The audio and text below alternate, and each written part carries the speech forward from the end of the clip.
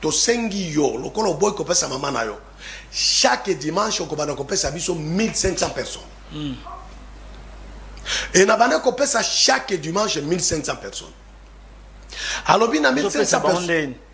Papa parfum na ezosala eloko mpe tokokoma place oyo kokomprendre parce que omoni nazalaki grand marabout na mboka oyo nazalaki na ndako na kinshasa ndako na brazzaville kuna nazosala maraboutage awa nazosala maraboutage afrike mobima tozalaki kaka mibale oyo bazalaki puissant bamarabu puissant moko na sénégal nkombo na ye kebe na ngai maître yusufu kinshasa ye brazzaville de deux nazalaki ambassadeur ya basorcier nyonso ya afrique centrale nazopumbwa papa Nazalaki ndoki nazo pumbwa. Na nini? Na avion?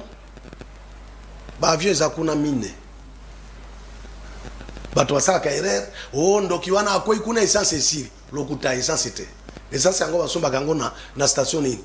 Kuna tozo pumbwa na kombo oyo bato bakombaka. Tozo pumbwa na poso ya nguba, tozo pumbwa na lindalala, tozo pumbwa na etoko. Lakisa nga reservoir ya essence esika ezali.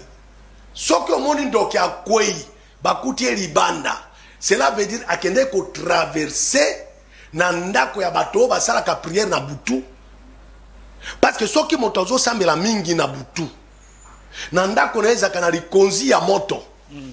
etobolaka plafond na, na, na batole ekei bokomona suka te mai na ndoki asala erreur ya kotraverse wana likonzi ya moto ebendaka eza ema ebloke ye Ti na tongo bakokuta ye wana. C'est pourquoi nayebisaka batu, olingi osala makambo ya minene, olingi osala stable, olingi ozala moto monene, prière ya butu eleki prière ya moyi na efficacite.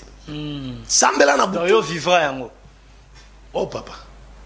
Si nauti kuna 22 ans. Okay. Tango nazalaki ambassadeur ya ba sorciers nyonso ya Afrique centrale, Pona ko capturer bato wana 1500 personnes, il suffit na pesa kaka ordre na Afrique centrale, representant ya kuna il faut opesa nga autant, yo opesa nga autant, yo opesa nga autant. Et na bandaki ko cooperer mingi na ba eglises sataniques eza na ville ya Kinshasa. Eglise satanique? Oui. Mm. Eza pe na Brazzaville, eza pe na monde entier. Nake kaka komona representant Na ndeti oye na eglise mo ndeti ezalaka na limete ah oki osolo na pasteur wana oui. pasteur wana apesi apesi soko bandimi bandimi oui nazoyeba jour moko nake komona bana bato basambelaka epa na ye oui ah. bango bazwaka bango lokola bataba na bango meme po eh, pasteur asala succès azwa mbongo aza akosakrifie nde bandimi nazoyeba un jour ekomi jeudi nombre wana nano ekoki te nake komona representant moko aza na bato plein na eglise eglise yango wapi kinshasa braza eza mpe partout hein? ah. presque monde entier mm. nake komona ye awa na kinshasa eza na komini papa bakomine nyonso bazali mm. okay. mm. nake komona ye natuni balobi no aza na brazzaville nabengi ye Wana tango ya ba seletel hein. Mm. Omoni ba ba appareil ya minene wana. Telecel. Telecel oui. Mm. Alobi na ngai euh, monsieur Youssouf naza na Kinshasa te naza na Brazza mais nakozonga samedi. Lokola lelo toza jeudi nga nakoboyela yo te parce que yo mpe osungaka biso. Comme ça comme nakoya samedi Bato bakoya ebele ba fidèle na nga koya koyamba nga na beach Ngobila. Yo pusana kaka na beach pembeni ya mayi. Beta ba numero na yo recuperer nombre oyo ezangi.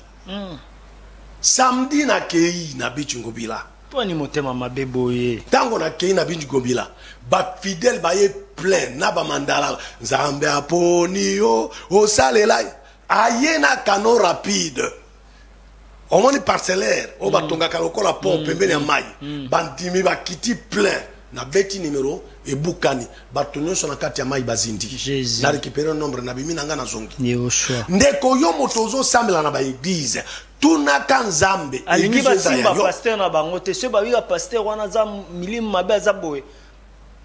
oyebi ezalaka nini koba ezalaka nini bakangaka batekaka bafidele nyonso wana na monde ya tenebre ata amoni mabe pasteur azobima na basi azomela masanga aza koescroke azo ye aza deja mokangemi na monde ya tenebre akondima yango te bakosupporte ye kaka parce que baza baprisonnier na monde ya tenebre akobima mpe na eglise te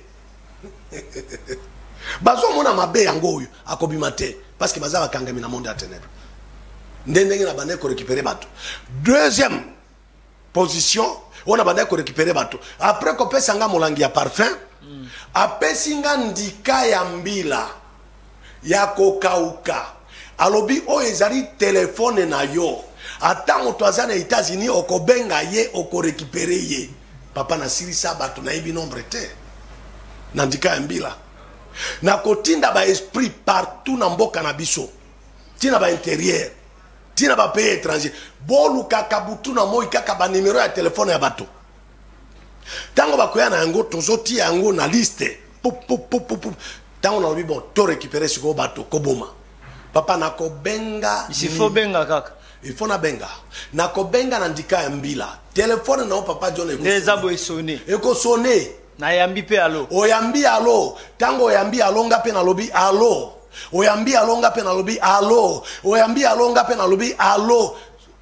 Tango nazo loba allo eko koma ti na tango yo oko loba oui nazo yoka yo. Soki olobi kaka oui na telephone c'est à dire ondimi makambo nionso nako sala na vie na yo.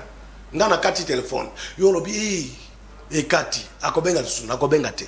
Comme olobi oui na telephone Osi ondimi nionso soki koboma na bomi yo.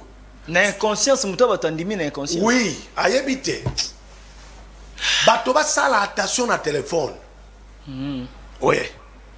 Diable na bato ya misala ya molili ebele bazo récupérer bato à partir ya telephone. Na ba internet moto mm. akoti boye liboma. Mm.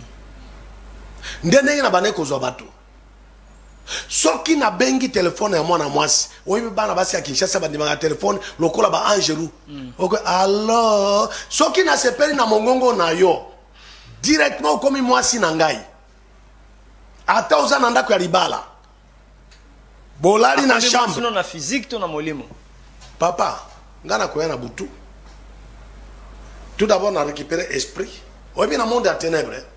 Avant ya kozua moto meme koboma moto babandaka na esprit meme nzambe po apambola moto ebandaka na esprit nde ekomi na nzoto mm. tango nasepeli na mongongo na yo na butu na koya ata oza mwasi ya libala olali na mobali na yo nga mpe tokolala wana ozobota na mobali na yo okobota mpe na ngai Omoni bana basi ebele bazo tambola meme bazo sambela ebele baza na ba bebe na monde ya tenebre bakendeke butu nyonso komelisa bango bana nini tokobota na bana basi wana bana ya kuna eza bapuku oh. eza bampese eza magorodo crapo eza banyau eza basili eza binsekwa yango soki omoni na ndako na yo bapuku batondi na ndako ata otie kisi esilaka te bazali ya mission ya ko detruire bato bavandi na ndako wana puku azolia dollar puku azolia bilamba puku azolia makolo ya bato nakotinda puku bebe kende kolia kaka sous vetement ya mama wana to papa wana liya mbongo na ye liya ye na lokolo yele nga poso na ye yo olamuki na ntongo e eh, bapuku balei nga tosi tozwi yo e balei mbongo na nga tozwi richesse nyonso tu bapuku balia bango kozwa bango Eza na batu mususu bazali ba intouchable puku alei mais eza nul et sans effet. Ah ndeti nga balia nga eza nul et sans effet. Na komona. Nani azali intouchable? Moto oyo azo tambola sembo. Amen. Azo banga Nzambe. Azo tosa liloba ya Nzambe. Wana ba touchaka ye te. Wana asimbami na loboko ya Nzambe, oyo Bible elobi, oyo asimbami na loboko ya Nzambe, moto moko te akobebisa ye, ni akobotola ye. Mais bato oyo ata azo sambela na ba aventure, masanga, ekobo, nini, moyibi, escroquerie atiki te. Te papa ata oza chretien otiki biloko wana te. Toko recuperer yo. Ok koba. Nde eloko na.